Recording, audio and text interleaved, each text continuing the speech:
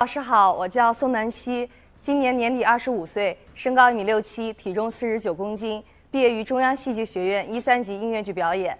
来我们先拍个照片，正面、左侧、后面、右侧，然后正面。然后你，请你介绍一下这个电视片段你扮演的人物和前后的剧情。故事是发生在一个虚构的架空的古国，然后那里是十二星座为首的一个国家。我是扮演的是巨蟹座的星主谢嫣然。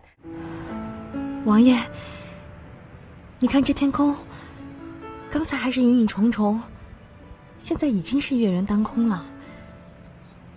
是不是就像很多事情，它发生过？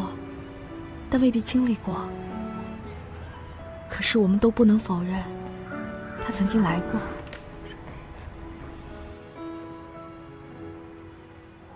王爷，酒能醉人，但人不可自醉。嫣然主。吹过了一遍遍。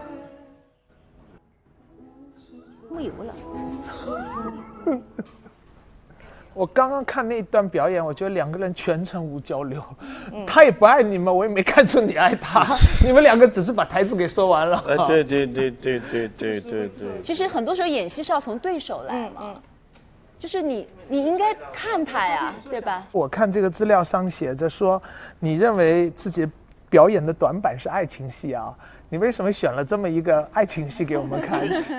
确实是啊，看看得出来啊。因为这个算是一个比较连贯的，就可以找到的一个片段，然后再加上我觉得自己的问题是可以让老师们看见。